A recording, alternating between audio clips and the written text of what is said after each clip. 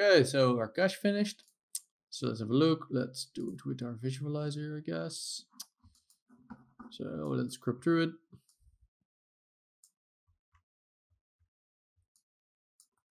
Let's maybe do a playlist or something. So I guess let's go to smooth shaded so we don't have the bounding box and do something like this. Hold this button so you can uh, pull out the bar, hold this button. Let's do it until frame 175.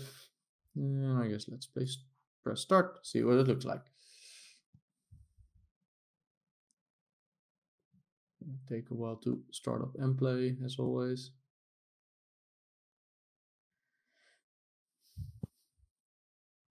So you see like our pyro still sort of looks like we'd expect with the rebuilding and all. Course, we could change the visualization settings, but all right, so now we're gonna be, and uh, there's something there that looks a little bit weird. So gonna investigate what's up with that because it shouldn't do this thing that it does here.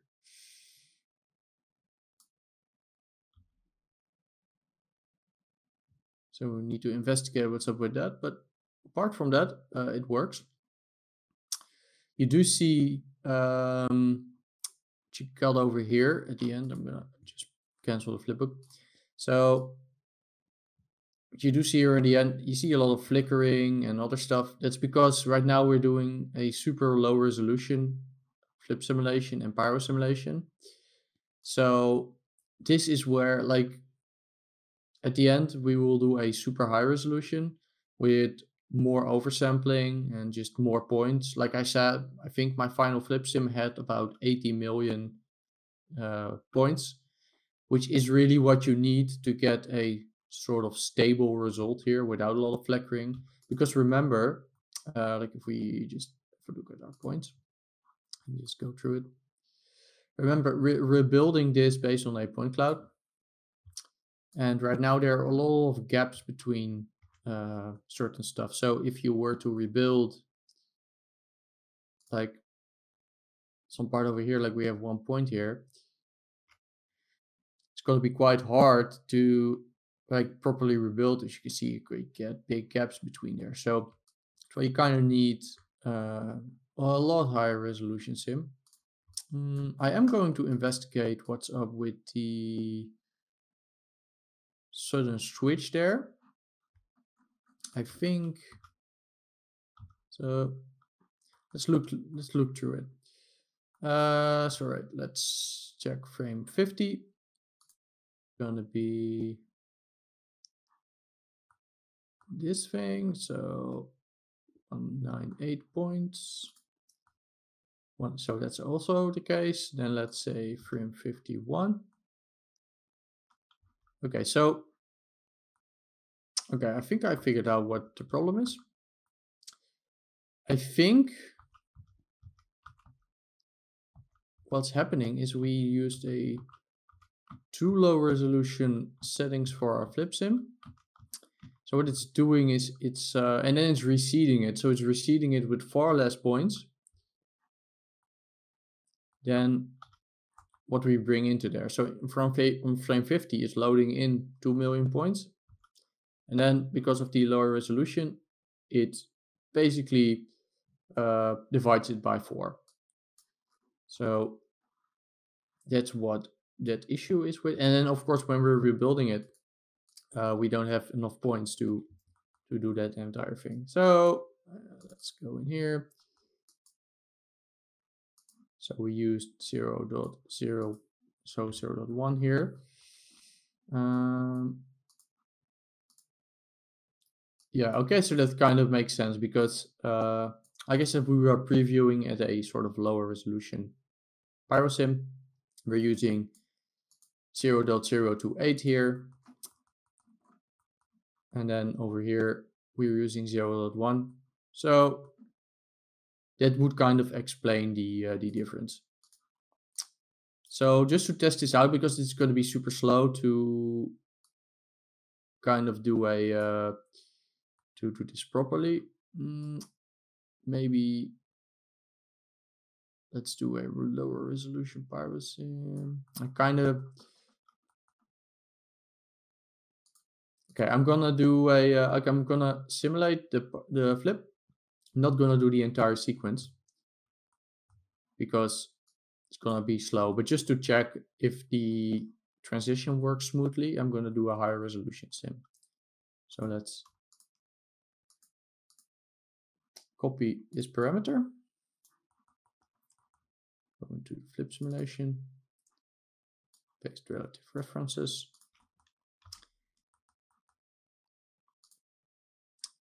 And something I missed, by the way, on these file caches, on uh, when you're using uh, tops, um, then you have an option to delete results from disk.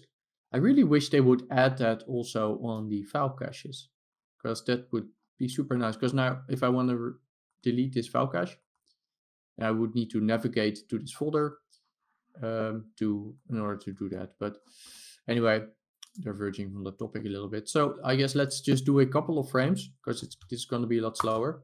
I'm just going to cache from 50 to uh, 65. Then I'm going to rebuild those frames and I'm going to see what that looks like. Then I don't have to run this entire scene for this test uh, because we already verified that the rebuilding itself does work. It looks quite cool. Just need to fix this issue over here where it sort of sweet and it, and again this is why you do something like this in a just a simple test scene because if you're going to run into these issues in your production scene where you're going to do super high resolution sims uh, it's it's going to be much harder to to identify these issues because you have a lot of more stuff to deal with so yeah i'm gonna press save to disk and then i'm gonna get back when everything is done so Again, that's this part and this part. So let's press save to disk and I'll be right back. All right, so we're back. And if we look at our flip simulation here, which is going to start at frame 50, 2 million points, 5 million points. So we probably overdid it with the resolution and the, uh, because we're also have the reseeding, remember? But uh, that's already looking better. So if we look then down here, the volume, you see here right now we are getting quite good quality. So you can see right now there's no problem in the transition phase. Actually has a very smooth transition. So again, I didn't do the entire simulation, but let's just flipbook a couple of frames from frame 40 to 65. So then we can just view the transition. I think I still have the other frames open. Let's just cancel this. Let's make a new flipbook.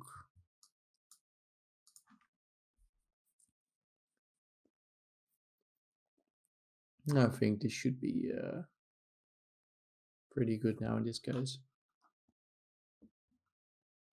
So, and then the transition will happen and you can see no issues.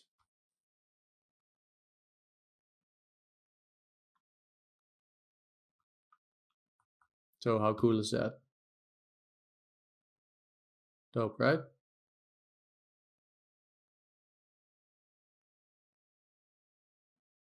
So again, this is as far as I cached, but you can see it's still looking looking good. Um, like over here, where it sort of splooshes away quite far or here I mean you're gonna get these sort of sampling errors but remember we will also have motion blur because again this also use the velocity so we do have the velocity so stuff like that will also just be motion blurred more because this uh, like if I put my scatter on here and velocity on here should uh, see it work. Uh, we probably need to change the name with the velocity here. Uh, vel, dot star probably need to convert VDB.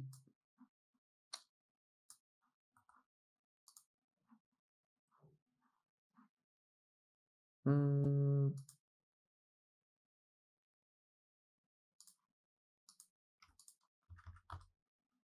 Let's have a look why this is not working. Okay, so we have do have an issue here, which we just ran into. So what is the, oh, that's because like we already have over here, whoop, this needs to be over there. So let's just disable our cache and then try it again. So let's, uh, so we forgot to, I forgot to link our create velocity in there. So again, this is why you do all these, uh, all these things inside a R&D scene.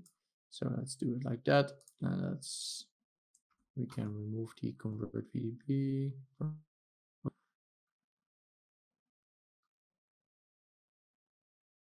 Takes a while to build. Okay, can put this to, can remove this one. Vel dot star And there we go. So we should probably scatter some more points so we actually capture this entire thing. So we, because we want to look at these uh, extra points, right? So let's have a look. Yeah, you can see it's quite a long trail. So we're going to get a lot of motion blur there. And this also looks quite cool. I mean, you could render it like this. So yeah, that's the base effect. Let's continue with uh, now creating our actual production scene. So that's going to be with the rigid bodies. Uh, so we're going to start with like uh, making uh, an environment. Then we're going to do the, the rigid bodies. Then we're going to implement that into our pyro simulation. And we're going to see how we can detail our pyro simulation um, and lots of other cool stuff. So let's continue to uh, that part of the course with the uh, main effect out of the way.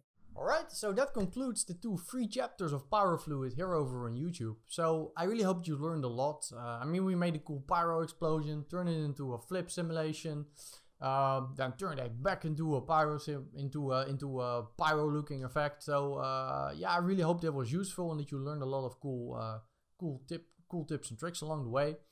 Um, so make sure to send me any results that you make with this. Like I love seeing all these effects that people do with my uh, with my tutorial. So just like send it over on Instagram or on Twitter or on Facebook or or, or wherever you want. Um, but uh, yeah, I, re I, really hope you enjoyed this. Uh, of course, if you want to learn more, the entire course is is uh, 10, 10 chapters in total um, in about 13 hours, and the link to that is in the is in the description. Um, so in the full thing, we learn, of course, a lot more. So we have a much more detailed pyro explosion, of course, uh, much more detailed flip simulation. So we're gonna go into uh, how to tackle some some problems that we that we run into when when we're doing that. We're gonna build the entire environment. We're gonna uh, build rocks. We're gonna do rigid body simulations. Uh, we're gonna do debris, we're gonna do make a shockwave, we're gonna do all of this stuff and we're gonna also composite it. So like the full thing is is really gonna be start to finish this this entire end shot and just like a like a real production scene. Uh, so yeah, if like if you're interested in learning more, like if you if you liked the parts you saw so far, you can continue watching with the link in the description.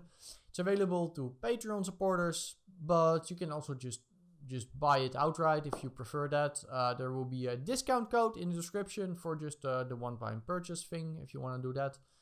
Um, so yeah, with with that out of the way, I really hope you enjoyed what you saw here. If you did, make sure to gently tap the like button. That really helps out the YouTube algorithm.